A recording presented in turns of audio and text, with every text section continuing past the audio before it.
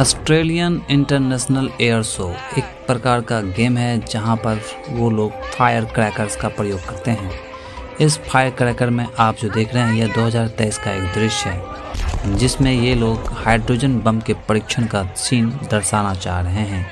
ये दुनिया को बतलाना चाह रहे हैं कि इससे कितना बड़ा नुकसान हो सकता है। हमें इससे बचना चाहिए और इससे परहेज भी करना चाहिए।